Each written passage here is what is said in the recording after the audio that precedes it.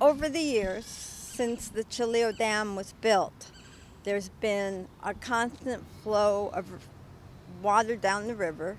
And what happens is that the water rises and falls depending on them releasing water to produce electricity.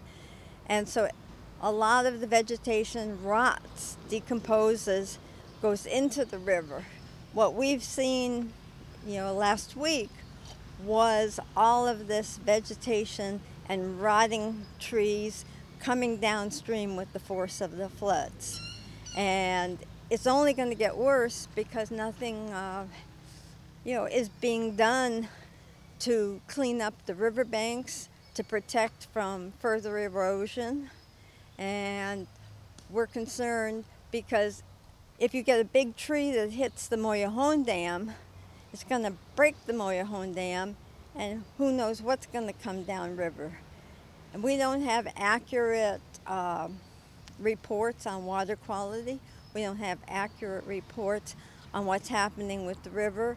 We do know that they're trying to introduce a new um, siren early warning system so we don't really even have a early warning system in case there is a dam break.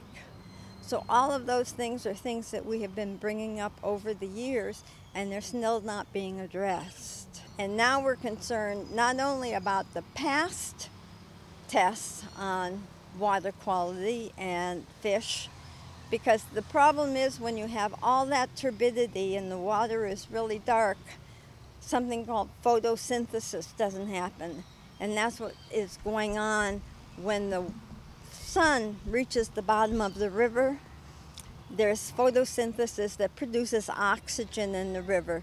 So you're going to have a situation maybe like the New River where we're going to have all this dead vegetation and dead fish coming down the river because of lack of oxygen. And we want to know what's happening and we're not getting answers.